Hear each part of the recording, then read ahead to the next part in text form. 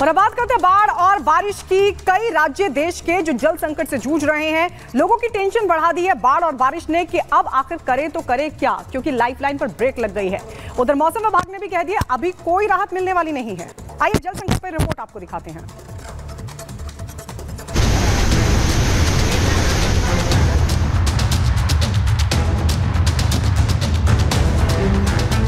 Monsoon की मनमानी, सैलाब का कहर। बरसात, बेहिसाब, मुसीबत, मूसलाधार। गली गली पानी, टापू बने गाँव और डूबे खेत खलिहान। आसमानी आफत के चलते देश के कई राज्यों में सैलाबी संकट पैदा हो चुका है।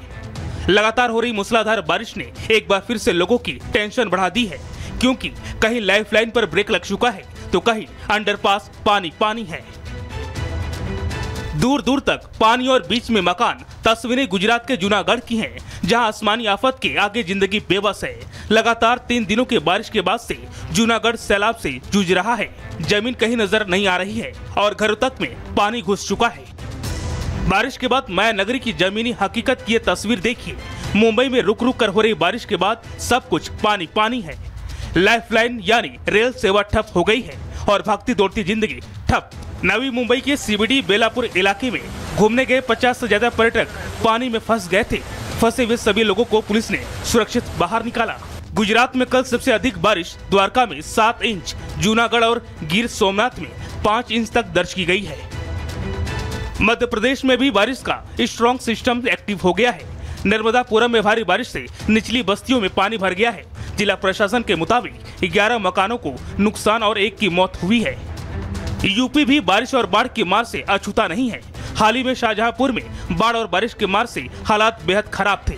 अब राहत, बचाव और लोगों की परेशानी को दूर किया जा रहा है। काफ़ी क्षति हुई है। पिछले दिनों इतनी बाढ़ और जल हुआ है। शाहजहानपुर क्षेत्र जनता से सीधा संवाद किया है और गांव-गांव जाके जो राहत कार्य हैं उनका जायज़ा लिया है और अधिकारियों को निर्देश दिए हैं कि जल्द से जल्द सर्वे करा लें जितनी भी जल भराव खेतों में और जो हमारी फ़सलें हैं वो नष्ट हुई हैं उनका मुआवजा किसानों को मिलेगा। राहत सामग्री का किटों का वितरण हमारे क्षेत्र में लगातार चल रहा है और सर्वे का कार्य भी बहुत तेज़ी से चल रहा है। प्रशासन लगा हुआ है हर गरीब आदमी की मदद के लिए हमारी सरकार तत्पर है। इधर मौसम विभाग की माने तो बारिश की मनमानी से लोगों को अभी राहत नहीं मिलने वाली है यानी लोगों की मुसीबत थमने वाली नहीं है। Bureau report Republic Bharat.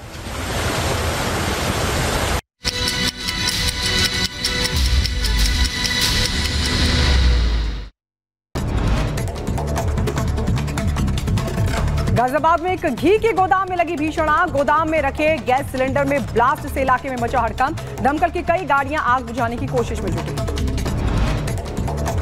Lakhimpur Kheri में इलेक्ट्रॉनिक्स की दुकान में शॉर्ट सर्किट की वजह से लगी आग। लाखों का सामान जलकर हुआ खाक। कड़ी मशक्कत के बाद पाया गया आग पर काबू। महाराष्ट्र के पालघर में दवा निर्माण कंपनी में लगी भीषण आग। आग इतनी भीषण कि दूर से लपटे देखी जा रही थी। दमकल की छह गाड़ियों ने जैसे तैसे इस आग को काबू किया। किसी के हताहत होने की फ़िलहाल कोई खबर नहीं। अल्मोड़ा हल्द्वानी हाईवे पर अनियंत्रित होकर सड़क पर पलटी केमू की बस। यात्रियों में मची चीख पुकार, हादसे में सात यात्री जख्मी, चार लोगों की हालत गंभीर।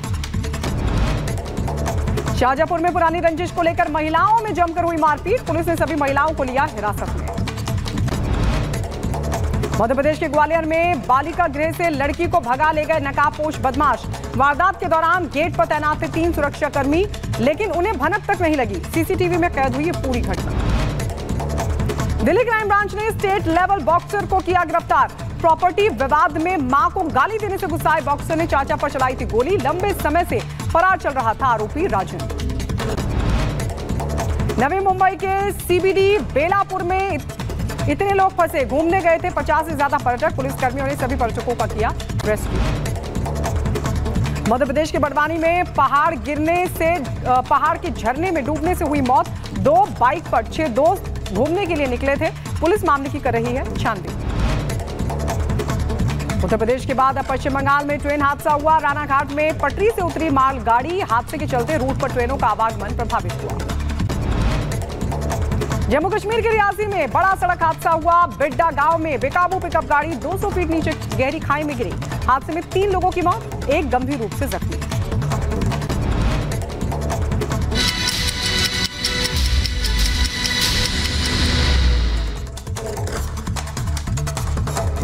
और अब बात इस वक्त की बड़ी खबर की। बड़ी खबर यह है कि जो बाइडेन चुनाव नहीं लड़ेंगे, पत्र लिखकर उन्होंने ऐलान कर दिया है कि वो चुनाव नहीं लड़ेंगे। कमला हारिस का नाम उन्होंने आगे बढ़ा दिया है। चुनाव होने वाले राष्ट्रपति को लेकर और इसी कड़ी में जो बाइडेन ने ऐलान कर दिया है कि वो राष्ट्रपति चुनाव नहीं लड़ेंगे। बाइडेन ने पत्र लिखकर इस बात का ऐलान किया। आपको ये भी बता दें कि बाइडेन के स्वास्थ्य को लेकर सवाल उठे थे।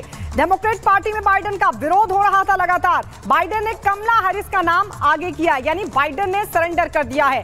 उधर ट्रंप लगातार प्रचार कर रहे हैं, अपनी जीत का दावा कर रहे हैं और बाइडेन सरकार पर लगातार निशाना साध रहे हैं, लेकिन इसी कड़ी में अब बाइडन ने चुनाव नहीं लड़ने का फैसला किया है और ये कहा है कि पार्टी के हित में मैंने ये फैसला लिया है।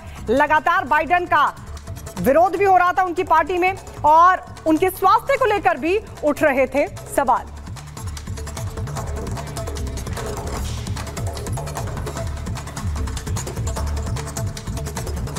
और इस बीच एक और बड़ी खबर आपको बता दें बड़ी खबर जम्मू कश्मीर के गुंदना से आ रही है, जहाँ पर सेना के पोस्ट पर आतंकियों ने हमला किया, हालाँकि उस हमले को सेना ने नाकाम कर दिया। में यह नाकाम कोशिश की गई है। आतंकियों की तरफ़ से राजौरी के गुंदना का यह मामला है, जहाँ पर हमला करने की कोशिश की है। हमले को जवानों ने नाकाम कर दिया। मुठभेड़ में दो से तीन आतंकी फंसे हैं। दोनों तरफ़ से लगातार फायरिंग का दौर जारी है।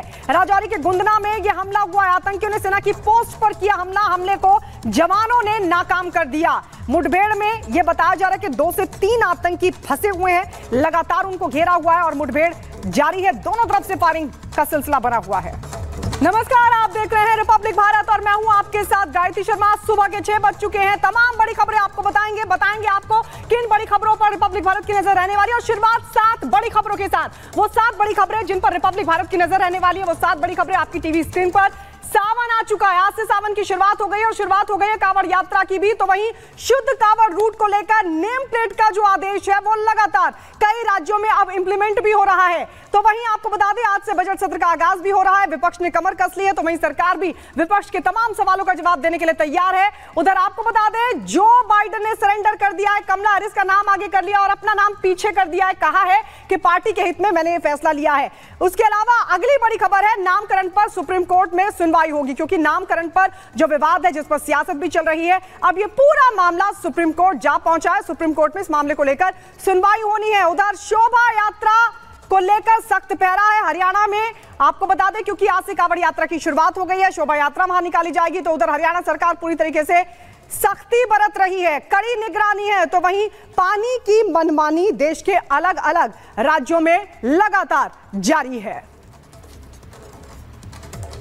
चलिए शुरुआत इस वक्त की सबसे बड़ी खबर के साथ। और बड़ी खबर यह कि सावन की आज से शुरुआत हो गई और शुरुआत हो गई है कांवड़ यात्रा की भी आज से। आपको बता दें, सावन की शुरुआत के साथ ही कांवड़ यात्रा की शुरुआत हो जाती है और इसी कड़ी में देश भर में आज से सावन शुरू हो गया है। तमाम जो मंदिर है, वहाँ पर भगवान शिव को जलाभिषेक करने के लिए अब लंबी लंबी कतारें लगनी भी शुरू हो गई हैं।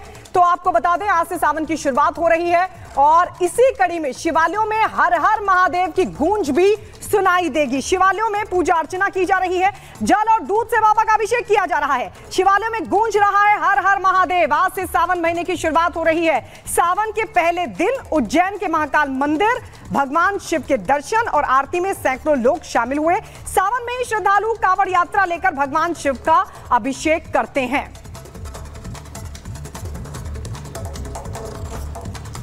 करता हूँ प्रभु की सेवा में। और भव्य मंदिर है क्या कहा जाए बाबा के दरबार की महिमा का कुछ वर्णन नहीं किया जा सकता। यहाँ भोले बाबा के दर्शन करने आए हैं भोले बाबा से कुछ उम्मीद लगाई है वो मांगने आए हैं। भोले बाबा का आशीर्वाद लेने आए हैं। ओम नमः शिवाय ओम नमः शिवाय। आज सावन का पहला सोमवार है ठीक है सबकी श्रद्धा है सब आते हैं। मेरा भी श्रद्धा है कि मैं मतलब यहाँ पे सावन पूरे ही आता हूँ मतलब चालीस दिन कोशिश करते हैं कि भोले बाबा के दर्शन हो जाएँ। जय भोले। जी आज बाबा महाकाल के अद्भुत दर्शन सावन के प्रथम दिन सोमवार के दिन हमें प्राप्त हुए हैं और एक ही अद्भुत ऐसा रोंगटे खड़ा कर देने वाला दृश्य ऐसा लगता है कि साक्षात बाबा महाकाल ही दर्शन दे रहे हैं सामने। बहुत अच्छा सोचा भी नहीं था उससे बहुत अच्छा महसूस हो रहा है बाबा महाकाल के साक्षात दर्शन सामने। बहुत अच्छा लग रहा है मुझे।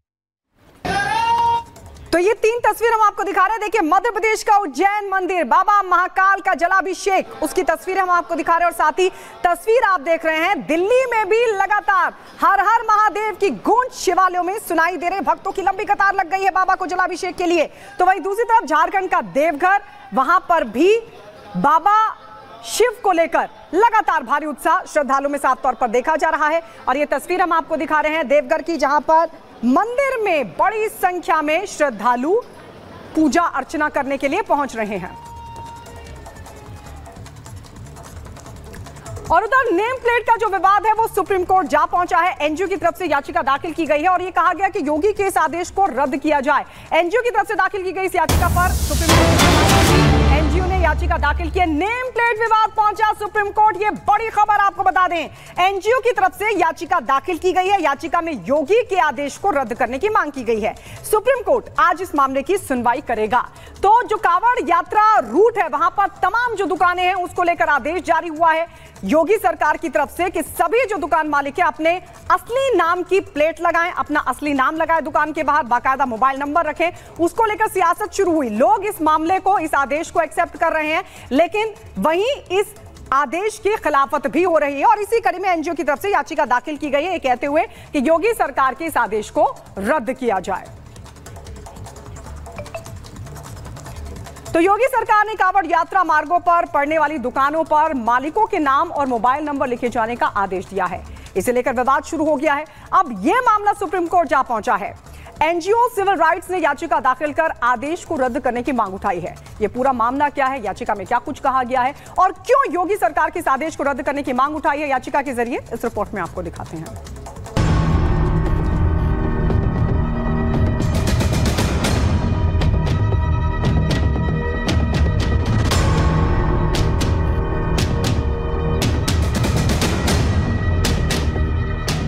मामला चाहे कुछ भी हो लेकिन कुछ लोग ऐसे हैं